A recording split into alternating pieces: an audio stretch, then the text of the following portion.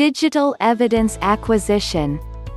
Digital evidence, by its very nature, is fragile and can be altered, damaged, or destroyed by improper handling or examination.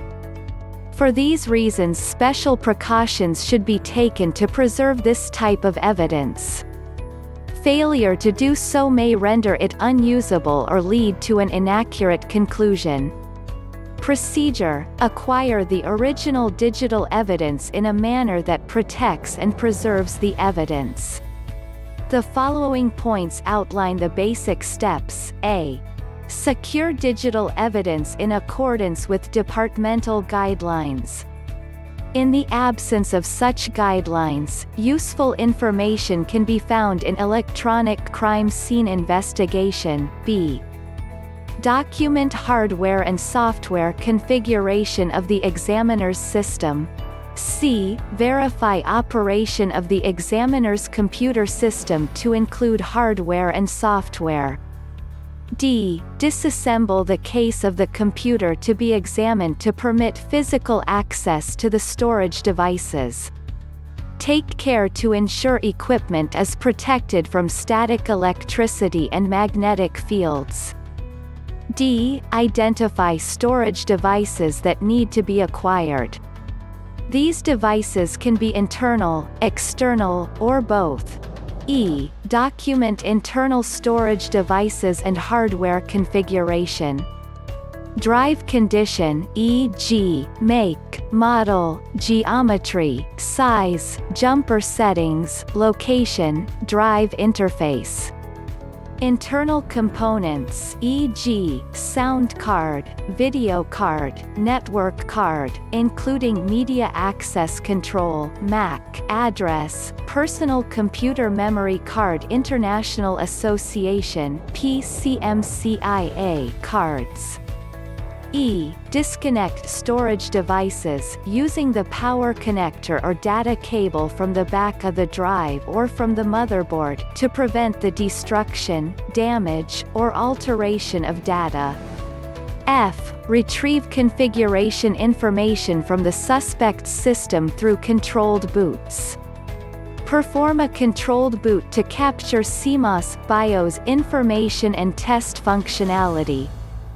G. Boot sequence This may mean changing the BIOS to ensure the system boots from the floppy or CD-ROM drive. H. Time and date. I. Power on passwords. Perform a second controlled boot to test the computer's functionality and the forensic boot disk. J. Ensure the power and data cables are properly connected to the floppy or CD-ROM drive, and ensure the power and data cables to the storage devices are still disconnected. K. Place the forensic boot disk into the floppy or CD-ROM drive.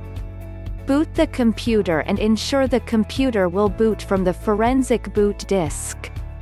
Reconnect the storage devices and perform a third controlled boot to capture the drive configuration information from the CMOS BIOS. L. Ensure there is a forensic boot disk in the floppy or CD-ROM drive to prevent the computer from accidentally booting from the storage devices. M. Drive configuration information includes logical block addressing LBA, large disk, cylinders, heads, and sectors CHS, or auto detect. N. Power system down. O. Whenever possible, remove the subject storage device and perform the acquisition using the forensic expert system. When attaching the subject device to the examiner's system, configure the storage device so that it will be recognized. P. Exceptional circumstances, including the following, may result in a decision not to remove the storage devices from the subject system, RAID redundant array of inexpensive disks. Removing the disks and acquiring them individually may not yield usable results. Laptop systems The system drive may be difficult to access or may be unusable when detached from the original system.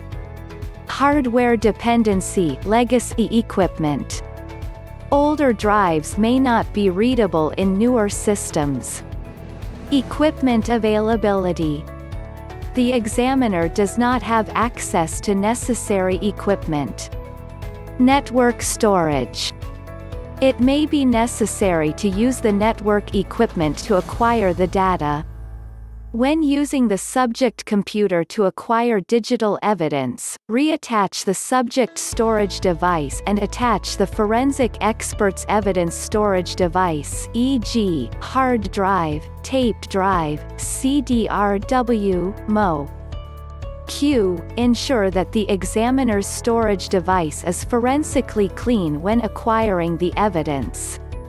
Most important, write protection should be initiated, if available, to preserve and protect original evidence. Note, the forensic expert should consider creating a known value for the subject evidence prior to acquiring the evidence e.g., performing an independent cyclic redundancy check CRC, hashing, Depending on the selected acquisition method, this process may already be completed. 1. If hardware write protection is used, install a write protection device. Boot system with the examiner's controlled operating system. 2. If software write protection is used, boot system with the examiner controlled operating system. Activate write protection. 3. Investigate the geometry of any storage devices to ensure that all space is accounted for, including host-protected data areas e.g., non-host specific data such as the partition table matches the physical geometry of the drive. 4. Capture the electronic serial number of the drive and other user-accessible, host-specific data. 5. Acquire the subject evidence to the examiner's storage device using the appropriate software and hardware tools, such as, standalone duplication software. Forensic Analysis Software Suite. Dedicated hardware devices. 6.